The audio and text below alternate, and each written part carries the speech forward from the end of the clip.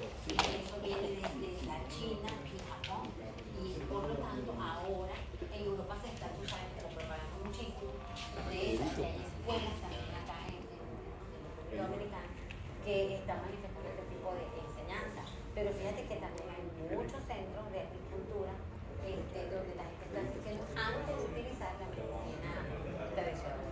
Doctora, mucha gente está confundida con lo que es personas piensan que se trata de cirugías, de, de diferentes cosas estéticas.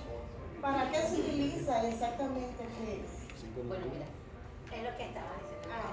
Fíjate que la persona entiende de verdad. Por eso hay que terminar de enseñar a la gente eh, que no es cirugía. ¿ok? Sino simplemente eh, se focaliza una